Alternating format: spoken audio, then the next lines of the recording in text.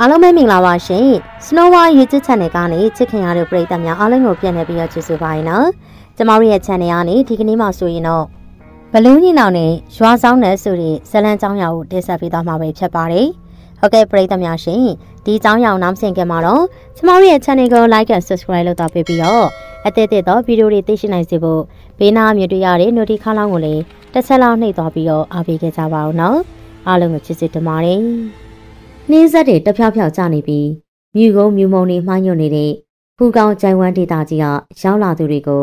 လွမ်းမောအောင်တက်မဲ့တကပြုလုပ်နေခဲ့တယ်။ဒီလိုချိန်ကမှဖူကောင်ကြိုင်ဝမ်ဒေတာမှာနေထိုင်ကြတဲ့ထမန်တီလူမျိုးတွေရဲ့အမဲလိုက်ရာသီလည်းဖြစ်တယ်။ထမန်တီလူမျိုးအများစုက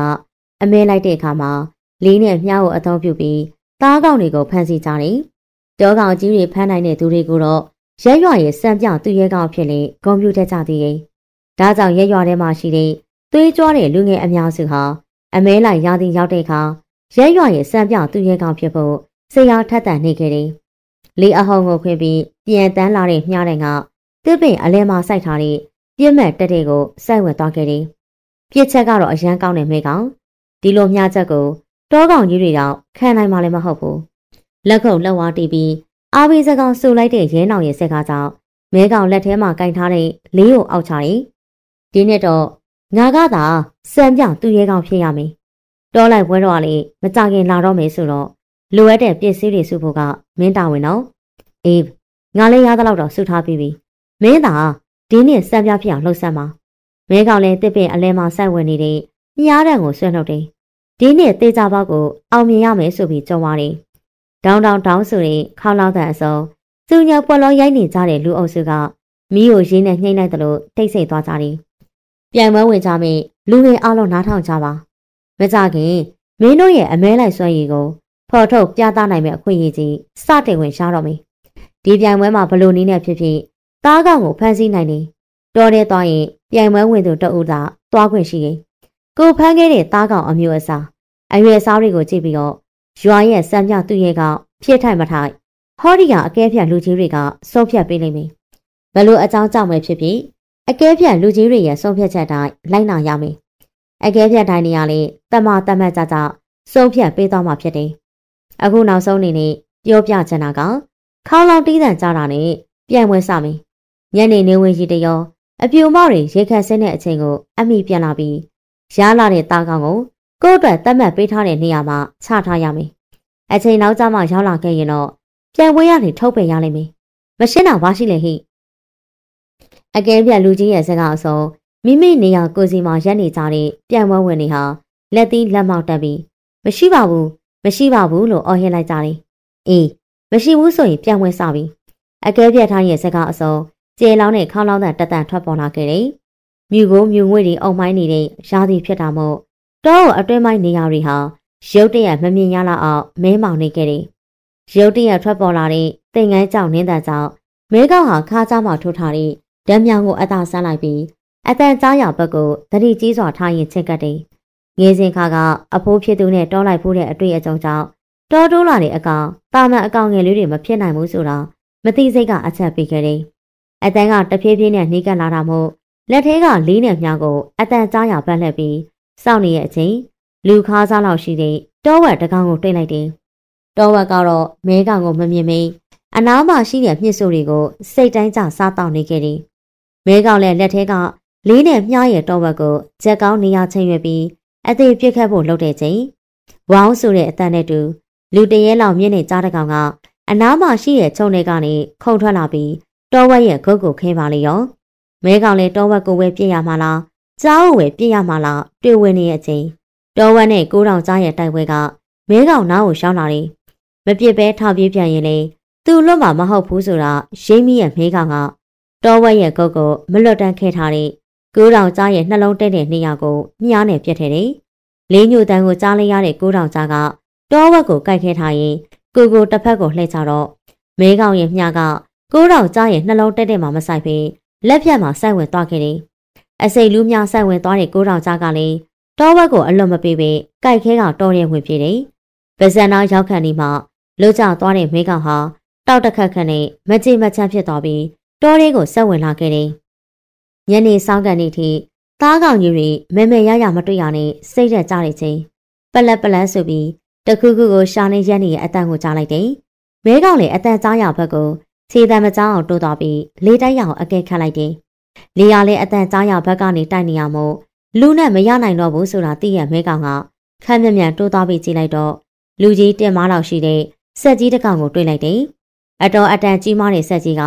အန်ဒီရဲ့အနက်သက်ကိုမရပြီး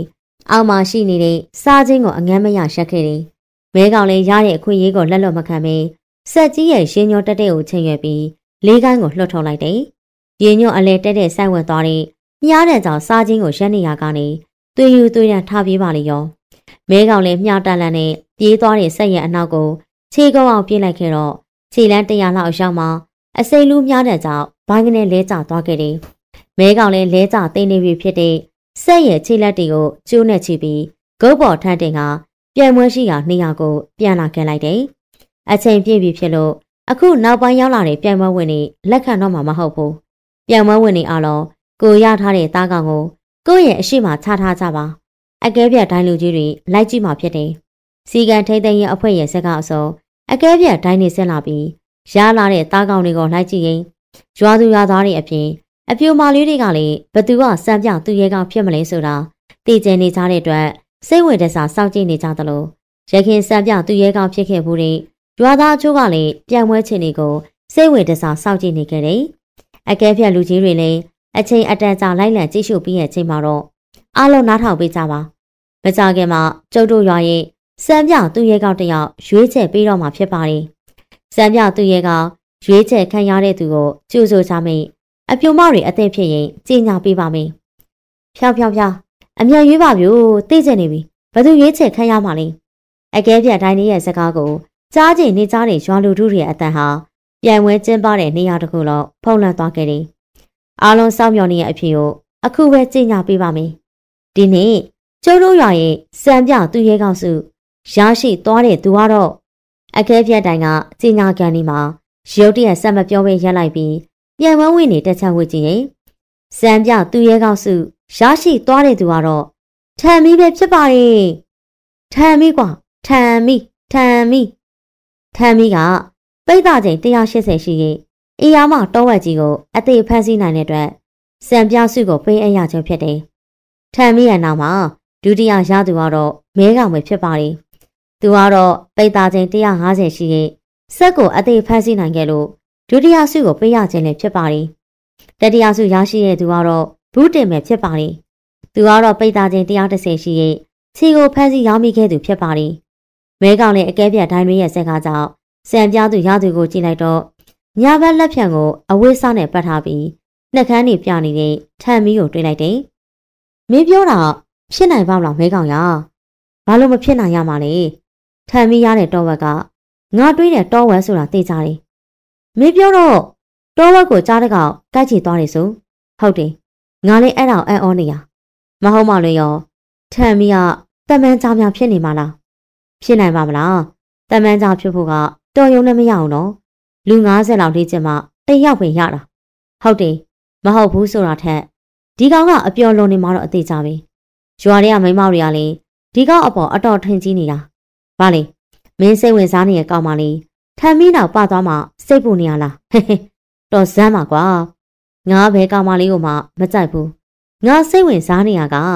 ထမ်းမီးကတကယ်ကိုကြားသွင်းပြောင်းနိုင်တာလားဆိုတာပဲမင်းဒီလောက်စိတ်ဝင်စားနေရင်ငါအဖေတို့ကိုကိုွယ်တဲ့ဆရာတော်တစ်ပါးရှိရင်သူကဖုန်းကြီးမဝဲခင်တမန်သားဖြစ်အောင်ပြောင်းနိုင်တယ်လို့ပြောကြတယ်ဒါဖြစ်လေသွားကြရအောင်အချင်းကရတာမဟုတ်ဘူးမဲကောင်ရဲ့တဆုထိုးဆန်တဲ့အပြုအမူကိုတိရဲ့ရင်းတော်ကစောတကမတက်တော့ပြီး မိဘတွေကိုးကွယ်တဲ့ဘုန်းကြီးကျောင်းရှိရာကိုထွက်လာခဲ့ကြတယ်။နနိုင်နီးပါးလမ်းလျှောက်ပြီးရဲ့အချိန်မှာတော့တောရဘုန်းကြီးကျောင်းတစ်ကျောင်းစီကိုရောက်ခဲ့တယ်။လူသူအရောက်ပေါက်နေလာတဲ့နေရာဖြစ်ပေမယ့်ဘုန်းကြီးကျောင်းပတ်ဝန်းကျင်ကခြုံတွေတွေတပင်းမှမရှိဘဲတန့်ရှင်းစိတ်ကြနေခဲ့တယ်။ရဲနောက်ကဘုန်းကြီးကျောင်းအရှိရောက်တော့ဆရာတော်ကဒီအချိန်တရားထိုင်နေတတ်တယ်။ငါတို့ကြောင့်နှောက်ယှက်ဖြစ်လိမ့်မယ်။ခဏစောင့်ကြည့်လိုက်အောင်။မဲကောင်တို့လည်းဆရာတော်ရဲ့လှုပ်ရှားမှုကိုမတွေ့ရမချင်း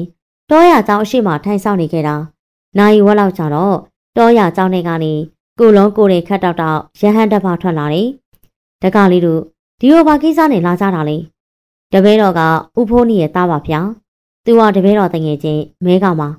ဆရာတော်လာဖို့ရင်နဲ့ကိစ္စလေးနဲ့နဲ့မေးမြန်းစရာရှိလို့ပါဒကာကြီးဥဖို့နေတာကိုကျောင်းမော်တက်ကြပါအောင်မဲကောင်တော့လဲဆရာတော်ခွင့်ပြုချက်နဲ့တပားကျောင်းမော်တက်လာခဲ့လိုက်တယ်ကျောင်းမော်ရောက်တော့ဆရာတော်ကိုဦးချပြီးဘေးဘီကိုကြည့်လိုက်တော့ တည့်ရက်စွာစစ်ရထားတဲ့ဖျားစာအုပ်တွေအပြင်တခါမှမမြင်ဘူးတဲ့စာအုပ်တွေပါမြင်လိုက်တယ်ဒကာလေးတို့လာရင်ကိစ္စကိုပြောကြပါအောင်တပည့်တော်နာမည်ကမဲကောင်လို့ခေါ်ပါလိဆရာတော်ကအရင်လူဘဝတော့ကတမန်းကြားတွင်ပြောင်းနိုင်တယ်ဆိုပြီးကြားသိခဲ့လို့တပည့်တော်တမန်းကြားပြောင်းလို့ရမယ်နီးလန်းကိုတင်ကြမှာလေဗျာတကားလေးတို့လာတာနေရာမှားနေပြီဦးစိကအဲ့လိုအတက်ပညာတွေမေ့ထားတာလေကြားပြီဒီအလောက်ကလည်းအကုသို့အယမ်းများတယ် ဦးစိမတင်ပေးနိုင်ဘူးပြန်ကြပါတော့ဆရာတော်ကစကားကိုခက်ပြက်ပြက်ပြောကဖះเจ้าဆောင်ရှေ့ကိုသွားပြီးတရားထိုင်လိုက်တယ်မဲကောင်တို့လည်းအချင်းနေမထူးတဲ့အတွက်ကြားမော့ကပြန်ဆင်းလာတယ်ရင်းနာမင်းမပြန်လိုက်တော့ကွာငါဒီမှာနေခဲ့မယ်ဆရာတော်မသိပေးမချင်းငါမပြန်ဘူးအဲ့လိုတော့ဘယ်ဖြစ်မှာလဲမင်းမပါပဲပြန်ရင်ငါ့ကိုတမျိုးထင်ချမှာပေါ့မယုံရင်ဒီနေရာကိုလမ်းညွှန်လိုက်ကွာငါ့ကိုဒီပညာမသိပေးမချင်းငါမပြန်ဘူး ငါမိဘတွေကိုလည်းကြည်ကောင်းအောင်ပြောပြလိုက်ငငယ်လေးကလုံမယ်ဆိုရင်တဆောက်ကလှုပ်တတ်တဲ့မဲကောင်ရဲ့အကျင့်ကိုသိတဲ့ရဲနောင်ကခေါင်းကိုတပြည့်ပြည့်နဲ့ကုတ်တယ်မဲကောင်လေးဆရာတော်ရဲ့ကြောက်ရှိမှာငုတ်တုတ်ထိုင်းနေတာတနင်္လာနေ့ပါကြတော့ဆရာတော်ဆင်းလာတယ်မင်းဘလို့လို့တော့ငါကသင်ပေးမှာမဟုတ်ဘူးပြန်လိုက်ပါတော့လို့ပြောကကြောင်နေပေးမှဇင်းညံရှောက်နေတယ်မဲကောင်ကလည်းမတင်ပေးမချင်းမပြန်ဘူးဆိုတဲ့စိတ်နဲ့ကြောင်အဝါကနေဘဲမှမသွားဘဲထိုင်နေခဲ့တာနောက်တနေ့မနေ့ထိရောက်ခဲ့တယ် ဆရာတော်ကလည်းမဲကောင်ကိုရှိရလို့တောင်သဘောမထားပြီးလုံရမယ့်ကိစ္စတွေကိုလုပ်နေခဲ့တယ်တရက်နဲ့တညကြတော့ဘာမှမစားမတော့တဲ့အတွက်မဲကောင်ရဲ့ကိုတွေကခွန်အားတွေတက်ဖြည်းဖြည်းစုပ်ယုံလာခဲ့တာခေါင်းတွေမူးနောက်လာပြီးအာခေါင်းတွေခြောက်ကပ်လာခဲ့တယ်။ဒါကိုလည်းဇွဲမလျှော့တဲ့မဲကောင်ကပေကပ်ပြီးတော့ထိုင်နေတယ်။တစ်ချက်တစ်ချက်တတိလက်ကနေဖြစ်သွားတဲ့အထိစီယာတော်ကဂယုမဆိုင်ဘူး။တတိပြန်ရလာရင်ကျောင်းပေါဝါမှာဆက်ထိုင်နေတယ်။သုံးရမြောင်းနေမှာတော့ မဲကောင်ဘလို့မှမထိန်နိုင်တော့ပြီးအယုတ်ကျိုးပြက်ကလဲကျသွားခဲ့တယ်။ရေရေရေပေးပါ။၆ကန့်နေတဲ့လေချောင်းတွေကနေတွန်းရင်းစွာထွက်လာတဲ့အတန်အစုံဗဇက်သေးကိုအေးစိတ်နေတဲ့ရေစက်တွေကျလာတယ်။နှကန်းပြားတွေပေါ်ကနေဆင်းလာတဲ့ရေစက်တွေကိုရှာနဲ့အငမ်းမရတိမ်ကြုံရက်လိုက်ပြီးရဲ့ချိန်မှာတော့အာအနှင်းငယ်ပြည့်လာသလိုခန်းစားလိုက်ရတယ်။တတိရလာပြီလား။ဆရာတော်ရဲ့အတန်ကြောင့်မိထားတဲ့မျက်လုံးတွေကိုအာယူဖွင့်ကြည့်တော့ကျောင်းအရှိမြေပြင်မှာမဟုတ်တော့ဘဲ ကျောင်းဘောက်ကိုရောက်နေရတတိထားမိတယ်။မင်းကအတော်ကောင်းပါလေကောင်းမယ်။နောက်ရက်ဆိုရင်မင်းအသက်တောင်ရှိတော့မှာမဟုတ်ဘူး။အရှင်ဘုရားကတပည့်တော်တပည့်အဖြစ်လက်ခံလိုက်ပြီပေါ့နော်။မဲကောင်ရဲ့စကားကိုဆရာတော်ကဘာမှမပြောဘဲစိတ်စိတ်နေခြင်းနဲ့ဝန်ခံနေ။ဇဝဲပေါ်မှာတစ်သေးနဲ့စွန့်ကြနေရှိရင်စားပြီးခဏနားလိုက်အောင်။မဲကောင်လင်းဆရာတော်စကားကြောင့်လဲနေရာကနေထပြီးဇဝဲပေါ်မှာအသက်တက်ထားတဲ့စွန့်ကြံတွေကိုငြိမ်ဆက်စွာနဲ့စားလိုက်တယ်။ တရက်လောက်နားလိုက်တော့မဲကောင်ကိုမခုံအားတွေပြန်ပြစ်လာခဲ့တယ်။ညနေဆောင်ရောက်တော့ဆရာတော်ကဈေးညံရှောင်းနေရကနေတမန်းကြောင့်ဖြစ်မဲ့သူဟာတာမန်ဇွဲလုံးလားနဲ့မရဘူးအများထက်ထူတဲ့ဇွဲလုံးလားရှိရမယ်ဒီအချက်တွေမင်းစုမှာရှိတယ်ငါတို့ထမတ်တိလူမျိုးတွေရဲ့အမတ်တညာရိုးရာကလည်းတမန်ကြပဲဖြစ်တယ်ဒါပေမဲ့ဒီပညာရက်ကအခက်မသိရင်လူစင်စစ်ကနေတရိษံတကောင်ဖြစ်ကိုရောက်သွားနိုင်တယ်မင်းသိယူနိုင်ပါမလား သိယူနိုင်ပါလေတပည့်တော်အစွမ်းကုန်ကြိုးစားပြီးသိယူပါမယ်ကောင်းပြီဒီပညာရက်တွေကိုဘသူ့ကိုမှမသိပေးပေထိမ့်သိမ်းလာတာနှစ်ပေါင်း30ရှိခဲ့ပြီအခုမင်းမတမန်းကြောင်ကျင့်စဉ်ကိုကျင်းနိုင်မဲ့စွမ်းအားရှိမရှိကိုစမ်းသပ်ဖို့အချိန်ကြာလာပြီငါနောက်ကိုလိုက်ခဲ့ဆရာတော်ကမဲကောင်ကိုပြောဆိုပြီးကျောင်းမော်ပြန်ထက်သွားခဲ့တယ်ကျောင်းမော်ရောက်တော့ရှေးအောင်ကျွတ်တက်တာတစ်လုံးကိုဖွင့်လိုက်ပြီးအထက်ကနေရွှန်းမှုလေးတစ်ပူးကိုထုတ်ယူတယ်မဲကောင်လေးဆရာတော်လောက်ကင်နေသမျှညက်တောင်မခတ်ဖဲနဲ့ကြည့်ခဲ့တယ် ဆရာတော်ကရွှန်းမှုလေးကနေအနီယာဝက်နဲ့ထုတ်ထားတဲ့ရုပ်တုတစ်ခုကိုထုတ်ယူပြီးမဲကောင်ရှိမှချလိုက်တယ်ဒီရဲ့ရုပ်က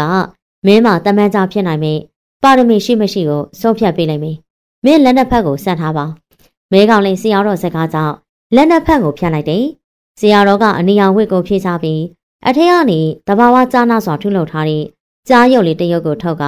မဲကောင်ရဲ့လက်ပေါ်ကိုတင်ပေးတယ်။ကြားရုပ်လေးကမဲကောင်လက်ပေါ်ရောက်တာနဲ့ အသက်ဝင်လာတဲ့အလားလှုပ်ရှားလာခဲ့တယ်။ဆရာတော်က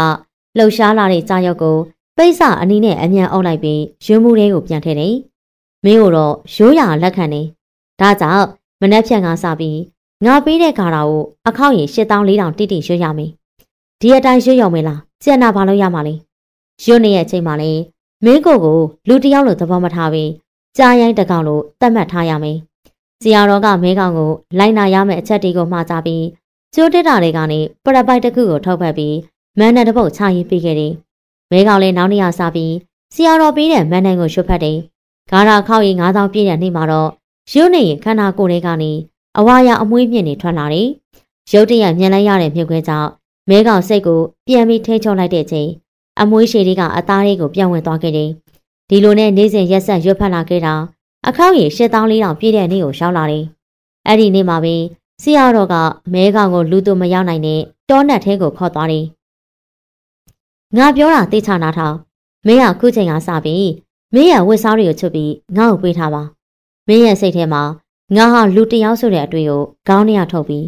ငါဟာခွန်အားပလားနဲ့ပြည့်စုံတဲ့ကြားရိုက်တကောင်းဆိုတဲ့စိတ်ကိုတွင်ထားရမယ်။မင်းရဲ့စိတ်ကိုလည်းလျှော့ထားရမယ်။စိတ်လျှော့ထားတဲ့အချိန်ငါတင်ပေးထားတဲ့ဂါထာကိုရွတ်ပြီးအနောက်ကိုဂျွန်းသုံးလေးပတ်ထိုးကြည့်။ဆရာတော်စကားကြောင့် မဲကောင်လည်းဝတ်ထားတဲ့အဝတ်စားတွေကိုချွတ်လိုက်ပြီးဆရာတော်ရှေ့မှာပုံထားတယ်။မင်းအသက်ဖြစ်ပြီလား။ဖြစ်ပြီဆိုရင်စူးစမ်းကြည့်ပါ။မဲကောင်လည်းဆရာတော်စကားကြောင့်စိတ်ကိုလျှော့ချလိုက်ပြီးကြားရိုင်းတကောင်းဆိုတဲ့စိတ်ကိုသွင်းကဂါထာကိုရွတ်ပြီးအနောက်ဂျုံထိုးလိုက်တယ်ဆိုရင်မင်းမဲကောင်ရဲ့မျက်နှာကနေအဆွဲတွေအမွှေးတွေရှေ့ထွက်လာခဲ့တယ်။စိတ်လျှော့ထားစိတ်လျှော့ပြီးနောက်ကျောထပ်ထူဆရာတော်ရဲ့တန်ကမဲကောင်နားထဲမှာကြားတစ်ချက်မကြားတစ်ချက်ဖြစ်နေခဲ့ပါသည်။ မဲကောင်လည်းအနောက်ကျွန်းသုံးဘက်လောက်ထိုးပြီးချိန်မှာတော့လူစင်စစ်ကနေအဝါတကအမဲတကန်ပါတဲ့ကိုးတော်ကြောင့်အဖြစ်ကိုရုတ်တရက်ပြောင်းလဲသွားခဲ့တယ်။အသေးစိတ်လွတ်တဲ့မဲကောင်ကအရှိမရက်တဲ့ဆရာတော်ကိုမြင်တော့ကြိုက်တတ်ဖို့အရှိကိုတိုးလာတဲ့အချိန်ဆရာတော်ကလက်ထဲမှာကင်ထားတဲ့ကြားရုံလေးကိုမဲကောင်မြင်အောင်ပြလိုက်တော့အနောက်ကိုသုံးလိလန့်လောက်ပြန်ဆုတ်သွားခဲ့တယ်။ဆရာတော်လေးမဲကောင်ရဲ့ကိုနေဟန်ထားအချင်းနဲ့တေချာလေးလာပြီးရဲ့အချိန်ရောက်တော့အရှိမပုံထားတဲ့ မဲကောင်ရဲ့အဝတ်စားတွေကိုလုံးကပြစ်ချပေးလိုက်တယ်။မဲကောင်လည်းအရှိကိုကြလာတဲ့အဝတ်စားတွေကိုအနက်ခံလိုက်တဲ့ချိန်ခြေထောက်ကနေစပြီးလူပုံတရံအဖြစ်ကိုတဖြည်းဖြည်းပြောင်းလဲလာခဲ့တာ။နောက်ဆုံးမှာတော့ပုံမှန်လူသားအဖြစ်ပြန်ရောက်သွားခဲ့တယ်။အသေးစိတ်ဝင်လာတဲ့မဲကောင်ကအရှိမချထားတဲ့အဝတ်စားတွေကိုကောက်ဝတ်တယ်။ခုနတပည့်တော့ဘာဖြစ်သွားတယ်ဆိုတာလုံးဝမမှတ်မိတော့ဘူးဗျာအေးမင်းရရေးချင်းနဲ့ဆိုတမန်ကြောင်အဖြစ်ပြောင်းလဲလို့တော့ရပြီ ဒါပေမဲ့အရေးကြီးတဲ့အချက်တစ်ခုကတမန်ကြောင်ပြောင်းတော့မယ်ဆိုရင်မင်းရအရင်ကြီးဆုံးလူတစ်ယောက်ကိုခေါ်သွားရမယ်ပြီးရင်မင်းရဝတ်စားတွေကိုသူ့ကိုပေးထားရမယ်မင်းရအသေးစိတ်ပြောင်းနေချိန်မှာရန်သူမိတ်ဆွေခွဲခြားနိုင်မှာမဟုတ်တော့တာမို့တမန်ကြောင်မပြောင်းခင်အချိန်မှာမင်းရဝတ်စားယူထားတဲ့သူကိုစားတခုံစားလို့တဲ့တစ်ပယ်မြင့်မှာနှိတ်ခိုင်းရမယ်မင်းလူစိတ်ပြန်ရဖို့အတွက်မင်းဝတ်ထားတဲ့အဝတ်စားမှာကတ်နေတဲ့မင်းရဲ့ကိုနဲ့ကိုအနက်ခံပြီးလူစိတ်ပြန်ရအောင်လုပ်ရမယ်။ တမန်ကြားပြောင်းပြီးရင်လေတရက်အတွင်းလူအဖြစ်ပြန်ပြောင်းနိုင်ရမယ်။တရက်အတွင်းမပြောင်းနိုင်ရင်မင်းဘယ်တော့မှလည်းလူပြန်ဖြစ်မှာမဟုတ်ဘူး။ငါတို့ဘိုးဘေးတွေကဒီရက်တက်ပညာနဲ့သားကောင်းတွေကိုဖန်ဆီးပြီးမိသားစုကိုရှာဖွေကြိုးမိခဲ့ကြတယ်။အခုမင်းလည်းဒီပညာကိုတက်ပြီဆိုတော့မင်းရဲ့မိသားစုကိုရှာဖွေကြိုးမွေးနိုင်ပါစေ။ဒါဆိုတပည့်တော်တမန်ကြောင်အဖြစ်ကိုလိုတဲ့ချိန်ပြောင်းလို့ရပြီပေါ့ဟုတ်တယ်တမန်ကြောင်ပြောင်းတဲ့အခါတရက်မကြော်စင်နဲ့ ပြောင်းတဲ့သူရဲ့ကိုယ်နဲ့ပါတဲ့အဝိစားမပြောင်းစေဖို့တတိထားပါနောက်တစ်ခုမှတ်ထားရမှာကလူကနေကြားဖြစ်ပြောင်းတဲ့အခါခေါင်းကနေစပြောင်းနေကြားနေလူအဖြစ်ပြောင်းတဲ့အခါအမိကနေစပြောင်းနေဒါကိုတော့သိထားပါမဲကောင်နဲ့ဆရာတော်စကားကိုမှတ်သားပြီးရွာကိုပြန်ခဲ့တယ်ရွာပြန်ရောက်တော့အရင်နီးဆုံးတန်ငယ်ချင်းဖြစ်တဲ့ရဲနာကိုခေါ်ပြီးတမန်ကြားပြောင်းတဲ့အခါလုံရမယ့်အစ်စ်တွေကိုပြောပြကလက်တွေစမ်းသပ်ခဲ့ကြတယ်။အစာပိုင်းမှာရဲနောင်လေးကြောက်နေပြီမေ တဖြည်းဖြည်းကြာလာတော့ကျင်သာရလာတယ်။မဲကောင်တမန်ကြားအဖြစ်ပြောင်းနိုင်တယ်ဆိုတာလေရဲနောင်ကောင်လွယ်ပြီးဘသူမှမသိဘူး။ထမ်းမီထမ်းမီမဲကောင်တို့ဒီနေ့လေတောကောင်ရလာပြန်ပြီ။ဒေကြီးတော့ပြန်လာပြောတဲ့ပပူးရဲ့စကားကြောင့်ဗဇန်နာတိတ်ထားတဲ့အရက်ခွက်ကိုချလိုက်တယ်။ငါဒီကောင်တွေကိုမသိငါဘူး။ရွာနေပြောက်သွားပြီးနောက်ပိုင်းမှာတရက်ချဆိုသလိုသားကောင်တွေရှားနေရင်နောက်ရသူတို့တောဝင်ရင်ငါ့ကိုလာပြောကြားလားစိတ်ချတွေ့တာနဲ့လာပြောပြမယ် ထံမီးလဲအန်တချက်ချိတ်ကတောက်လက်စအရက်ခွက်ကိုကုံစင်အောင်မောချတယ်မဲကောင်နေရှဲနောက်ပျောက်နေလို့တဲ့ဟုတ်လို့လားဟိုတနေ့ကတော့ရွာထဲမှာဈေးလိုက်ရောင်းနေတာတွေ့သေးတယ်ဟုတ်တယ်အခုရွာထဲကလူတွေတော့တော်တယ်လိုက်တက်သွားပြီမနေ့ကတောလိုက်သွားတာပြန်မရောက်လို့ဆိုပြီးမဲကောင်နေရဲနောက်ပျောက်နေရဆိုတဲ့တဲ့ရွာထဲမှာတမန်ဟုတ်ချင်းပြန့်နှံ့သွားခဲ့တယ်။ရဲနာလောင်းကိုပြန်တွေ့ပြီတဲ့။ဟေးဘလို့ဖြစ်ကြတာလဲ ပါသွားတဲ့လူတွေပြောတာတော့အတော့ကိုရုပ်ဖြတ်ဆင်းဖြတ်ဖြစ်နေရတဲ့ငါအထင်တော့တောကောင်ကိုက်ခံရတာများလားမဲကောင်ရောမဲကောင်အလောင်းကိုရောက်တွေ့ပြီလားမဲကောင်လောင်းတော့မတွေ့သေးဘူးလို့ပြောတယ်သူမိဘတွေတော့ရှင်ကျိုးပါပြီဟာဒါဆိုရင်တော့သိကြပြီတောကောင်ဆွဲသွားတာပဲဖြစ်မယ်အရင်ကဒီနာတော့ဝိုက်ကိုတောကောင်ကြီးတွေမလာတတ်ဘူးအခုတော့တတိထားရတော့မင်းအေးအေးငါလေးရွာထဲမှာလိုက်ပြောလိုက်အောင်မင်းဒီလိုနဲ့ရဲနာအလောင်းကိုနေချင်းပဲတကြုံလိုက်တယ် ရဲနာအာသူဘရက်လက်ပြီးရနေမှာတော့ညရွာထဲမှာမွေးထားတဲ့နွားကိုကျွားဝင်ဆွဲလို့တဲ့ဟုတ်လို့လားအရင်ကဒီလိုမျိုးတွေမဖြစ်ခဲ့ဘူးနော်နေမယုံရင်ဥလာမြန်ကိုသွားမိကြည့်ညနှစ်နာရီလောက်မှာနွားအော်တန်ကြားလို့ထားကြည့်တော့နွားပေါက်လေးကိုဂုတ်ကနေခဲထားတဲ့ကြားတကောင်ကိုတွေ့ရတဲ့ဖះဖះဒီပုံစံတိုင်းဆိုညဘက်တွေတတိထားရတော့မင်းငါအိမ်ကစိတ်တွေဝက်တွေကိုလည်းချက်အလွန်ခတ်ထားမှရတော့မင်းမြင်မြင်တော့ ဒီညတော့ဝင်ဆွဲခြင်းဝင်ဆွဲနေအောင်မင်းရွာထဲမှာလည်းကြားဝင်နေဆိုတဲ့သတင်းကြောင့်လူတွေအကုန်ရုပ်ရုပ်တဲတဲဖြစ်ကုန်နေကာလာသားတွေကတော့ညဘက်ကင်းဆောင်ပြီးကျွဲနာတွေကိုလာဆွဲတဲ့အကြောင်းကိုဖမ်းဖို့ကြိုးစားခဲ့ကြတယ်ဒါပေမဲ့လူဆောင်တက်ဆောင်စောင့်တဲ့နေဆိုရင်အရေးရောင်တော့မမြင်ရမလာလာဘူးထင်လို့ပေါ့ရတဲ့နေဆိုရင်တကောင်မဟုတ်တကောင်ပါသွားစမြင်ပြီးဒီလိုနဲ့တဖြည်းဖြည်းအတင့်ရဲတာကတောဆက်မှာထိခုံနေတဲ့လူတွေကိုတော့ဝင်ဆွဲတဲ့အထိတောင်းရခဲ့ကြတယ် ရွာတွေကလူတွေလည်းစူးရိမ်ကြောက်လက်စိတ်နဲ့တခြားရွာကိုပြောင်းပြရတဲ့အထိဖြစ်လာခဲ့တော့ရွာသက်ကြီးလည်းမနေသားတော့ပဲတောနေရှာပြီးအသေးဖမ်းဖို့ထိစ조사ခဲ့ကြတယ်။မိတို့တွေလေးတွေမြားတွေအသက်ဖြစ်ပြီလား။ဖြစ်ရင်သွားကြမယ်ဟိ။ထံမီးရဲ့အော်တန်ကြောင့်90လောက်ရှိလူအုပ်ကြီးကလေးတွေမြားတွေကိုလွှဲလိုက်ကြတယ်။ဒီကမသိရင်ငါရွာပြတ်မလာဘူး။ကျန်တဲ့သူတွေလည်းတွေးတာနဲ့အမိတ်မဆောင်နဲ့အသေးသာပြတ်တတ်ကြ။ဒီညက ငါတို့အတွက်တမိုင်းကောင်ရေးထိုးရမယ်နေပြီ။ထံမီးရဲ့ကြုံဝါတန်ကြောင့်လူအုပ်ကြီးရဲ့စိတ်တွေတက်ကြွလာပြီးမိတို့တွေကိုစီကိုင်းကတော်တယ်ဝင်လာတယ်။လူစုမကွဲစေနဲ့အလုံးတတိထားကြ။ဒီကောင်ကပါရင်နှက်ရရှိရင်ထံမီးကလူအုပ်ကြီးကိုလှမ်းအောင်ပြောရင်ပတ်ဝန်းကျင်ကိုအကဲခတ်လိုက်တယ်။အချိန်ကြာလာတာနဲ့အမျှတောကနတ်တထက်နတ်လာခဲ့သလိုအေးဓာတ်ကလည်းပုံလာတယ်။အရန်မောင်နေပြီ။အားလုံးသိပင်ခွားကြားတွေမှာနေရာယူကြ။ရွာတွေကယူလာတဲ့နွားပေါက်ကို မြင်ကွင်းရှင်းတဲ့နေရာမှာချိထားအောင်။ထံမီးကစမ်းပြသူ့ရဲ့ကောင်စုလက်လက်ဆက်ဆက်ရထားတဲ့သူဖြစ်တာမို့အားလုံးရဲ့ရှေ့မှာပါဝါပြကအော်ဟစ်နေခဲ့တယ်။ရွာသားတွေလည်းစိတ်ရှိလက်ရှိနဲ့စောင့်ခဲ့တာညတကောင်အချိန်ရောက်တော့ခြိထားတဲ့နွားပေါက်လေးဟာဒဇုံတစ်ခုကိုတိနေတဲ့ဟန်နဲ့အတင်းရုံးကအော်ပါနေရောနွားပေါက်အော်တန်ကြောင့်လင်းစင်အသီးသီးမှနေရာယူထားတဲ့ရွာသားတွေဟာလေးနဲ့မြကိုအသင့်ပြတ်ထားပြီးအတန်ကိုနားထောင်နေကြတယ်။ရုတ်တရက်နွားပေါက်လေးနဲ့မှလက်မကမ်းမှာ ရှိနေတဲ့တော်လန်တွေကနေတင်းရွက်ချောင်းနင်းတန်ကိုကြားလိုက်တယ်။ထံမီကအတန်ကြားတဲ့ဘက်ကိုတတိထားဖို့လက်ဟန်ချီဟန်နဲ့အချပြလိုက်ပြီးလက်ထဲကလေးနဲ့မြားကိုအသင့်ပြတ်ထားတယ်။အတန်းကတဖြည်းဖြည်းနဲ့နီးလာလေးလေးရွာသားတွေရဲ့စိတ်တွေလှုပ်ရှားလာလေးလေးဖြစ်လာတယ်။ထံမီကရိတ်ကနေလှုပ်ရှားတဲ့အရေးတစ်ခုကိုတွေးလိုက်တဲ့အချိန်လက်ထဲကမြားကိုပြစ်ဖို့အလို့မြင်လဲရတဲ့မြုပ်ခွင့်ကြောင့်လက်ကိုအပေါ်ကိုထားလိုက်တယ်။မပြစ်ကြနဲ့အောင်လူတယောက်ထွက်လာတာ ငါတို့စောင့်နေအကောင်မဟုတ်ဘူး။ထံမီရဲ့အော်တန်ကြောင့်ရွာသားတွေကြည့်လိုက်တော့ယောဂီဝတ်ဆောင်ကိုဝတ်ထားတဲ့လူတယောက်ဖြစ်နေတာကိုတွေ့လိုက်တယ်။ဟဲ့လူခမရတေးချင်လို့လားဒီနေရာကတောကောင်တွေတွာလာနေတဲ့နေရာပြောင်းလင်းစင်ဘော်ကနေလှမ်းအောင်လိုက်တဲ့အတန်းကြောင့်ယောဂီဝတ်ဆောင်တဲ့လူဟာကျိုးချီထားတဲ့နွားပေါင်လေးကိုအသားအရာပုတ်တတ်တယ်။မင်းတို့ကရွာထဲဝင်ဆွဲပြီးကျောင်းကိုပြစ်ဖို့စောင့်နေကြတာလား။ဒါဆိုမစောင့်နဲ့တော့သူမရှိတော့ဘူး။ခမရဘာသိလို့ပြောနေရလဲ။ ဟိုတနေ့ကတော့ရွာထဲကလူတယောက်ကိုဆွဲသွားသေးတယ်။မင်းတို့ရှာနေရဒီအရာလားယောဂီဝင်းတဲ့လူကပြောရင်းဆိုရင်လက်လက်ဆက်ဆက်ခွာထားတဲ့ကြားသိရည်ကိုထောက်ပြနေခမရဘေးကရလာတာလေထံမီးကကြားသိရည်ကိုမြင်တော့လင်းစင်ဘော်ကနေဆက်လာပြီးအသိအချကိုက်ကြည့်ရင်ဟိုဘက်နားမှာကြားလိုက်မုတ်ဆိုးတွေနဲ့တွေ့လို့ကျုပ်ကိုလှူလိုက်တာပါမင်းတို့ရှာနေရဲ့တောကောင်ရဲ့လှည့်ပင်မှာလက်တထွားလောက်ရှိရဲ့ဒဏ်ရာတစ်ခုရှိရမဟုတ်လားယောဂီဝဲလူရဲ့စကားကြောင့် ထံမီမျက်မှောင်ကျလိုက်ပြီးဘေးမှာရက်နေတဲ့ပပူးကိုလှမ်းကြည့်ရင်ဟုတ်တယ်ထံမီဒါငါတို့ရှာနေတဲ့အကောင်ရဲ့တည့်ရည်ပဲအဲ့လိုဆိုတော့ကောင်းတာပေါ့ကွာဟာနောက်ဆုံးတော့လေငါတို့ရောက်ဘေးကင်းသွားပြီပေါ့ကဲအားလုံးပြတ်ကြမယ်အေးလူခမရောကျုပ်တို့နဲ့လိုက်ခဲ့ပါလားဒီမကအန်ရင်များတယ်နော်ထမ်းမိစကားကြောင့်ယောဂီဝတ်ထားတဲ့လူကရှင်းလိုက်တယ်ကျုပ်တွေကအန်ရင်မရှိပါဘူးဒီနေရာမှာကျုပ်လုံးစကိစ္စတွေကြံသေးလို့မလိုက်တော့ဘူးဒါဆိုလဲကျုပ်တို့သွားပြီ ပပူမင်းကနွားပေါက်ကိုပြန်ခေါ်လာခဲ့ဟိုကောင်တော့ကြားလိုက်မှုစုတွေလက်ချက်မိသွားတာသိကြပြီထံမီးကဝမ်းသာအားရပြောပြီးလှည့်ထွက်ဖို့အလို့ဩခဏလေးနေပါဦး